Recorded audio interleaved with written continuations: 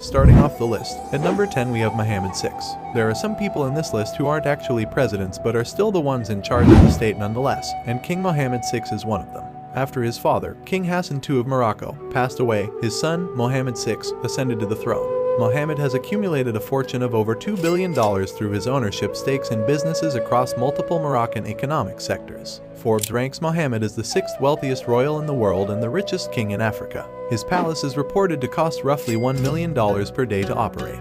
Then at number 9 we have Hamad bin Khalifa Al Thani. As the leader and president of Qatar, Sheikh Hamad bin Khalifa bin Hamad bin Abdullah bin Jassim bin Mohammed Al Thani held many titles. His son, Tamim bin Hamad Al Thani, is the current emir of Qatar after his father, also named Hamad, abdicated in 2013. Under his leadership, Qatar's natural gas output increased to 77 million tons, making it the world's wealthiest country in terms of GDP per capita. Each citizen now earns more than $80,000 per year on average. In a bloodless palace coup d'etat in 1995, Hamad bin Khalifa ascended to the throne. Hamad is one of the wealthiest heads of state in the world, with an estimated $2.5 billion in assets. Moving on to number 8 we have Pinera Sebastian. Chile has Miguel Juan Sebastian Pinera Echenique MCH as its president from 2010 to 2014 and again from 2018 to 2022. He has a successful business career and is among the wealthiest people in Chile. To my knowledge, Sebastian is the first democratically elected conservative president since 1958. He is among the top 10 wealthiest presidents in the world in 2023, with a net worth of roughly $2 billion. Then at number 7, the one and only Kim Jong-un. Since 2011, Kim Jong-un has held the position of supreme leader in North Korea, and since 2012, he has also led the Workers' Party of Korea, from the country's inception in 1948. His grandfather Kim Il-sung served as the first and current supreme leader of North Korea.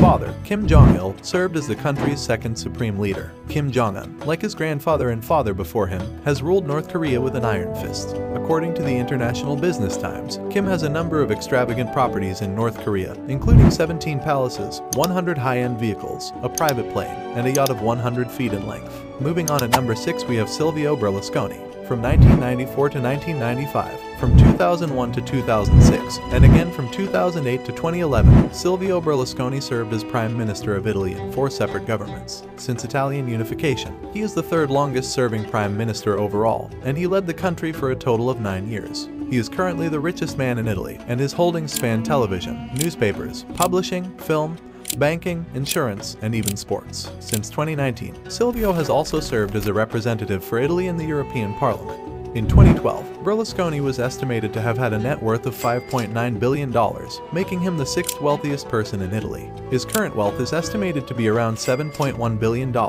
Then we have Hans Adam II at number 5. Prince Franz Joseph II's son, Hans Adam II, holds the titles of Prince of Liechtenstein, Duke of Troppau and Jagerndorf, and Count of Rietberg. He has more money than any other European king and is one of the world's wealthiest heads of state.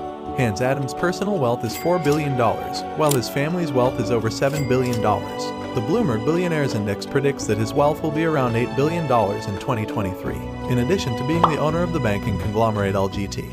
He ranks as the world's 453rd richest person.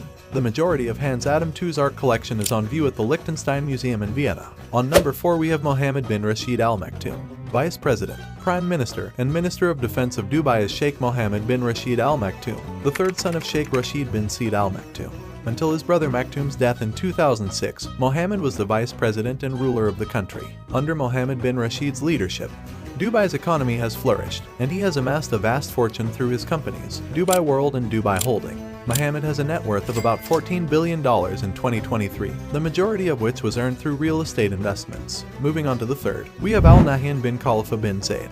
From November 2004 until his death in May 2022, Sheikh Khalifa bin Zayed bin Sultan Al Nahyan served as President of the United Arab Emirates. Khalifa oversaw the expansion of the UAE's non-oil economy, which helped the country become a regional economic powerhouse. In 2018, Forbes included him on their list of the 100 most powerful people in the world. Previously known as Burj Dubai, the world's tallest man-made structure was renamed the Burj Khalifa in January 2010 to honor Khalifa. Khalifa is not only President of the United Arab Emirates, but also the ruler of Abu Dhabi. At our second last position, we have Hassanal Bolkiah, Brunei's Sultan and Yang di-Pertuan. Hassanal Bolkiah has ruled the country since 1967, since Brunei's independence from the United Kingdom in 1984. He has also served as the country's prime minister. After his father abdicated on October 5, 1967, Hassanal Bolkiah, the eldest son of Sultan Omar Ali Saifuddin III, became Sultan. He has the second longest reigning monarchy in the world after Queen Elizabeth II. With a fortune of $30 billion, the Sultan is among the world's wealthiest people. The Sultan of Brunei possesses the largest collection of luxury vehicles in the world, including 380 Bentleys, 450 Ferraris, and 600 Rolls-Royces. And lastly, at number one we have the one and only Vladimir Putin. Russian President Vladimir Putin is widely considered the wealthiest head of state in the world. Some sources estimate Vladimir Putin's wealth at $40 billion, while others put it at over $200 billion. Putin has a $1.4 billion Black Sea home, 19 additional residences, 700 cars, 58 aircraft and helicopters, and a luxury watch collection. Yet only an 800 square foot apartment, a trailer, and three cars are listed as publicly owned assets on his website. Putin has been Russia's president twice, from 2000 to 2008 and now since 2012. Over the course of 16 years, Putin served as a KGB foreign intelligence officer, eventually reaching the rank of lieutenant colonel. In 1991, he left to enter St. Petersburg's political scene. He reportedly takes home $140,000 a year. And that's all for today's list of the top 10 richest presidents in the world. We hope you enjoyed it. Make sure to leave a like and subscribe to our channel for more updated videos.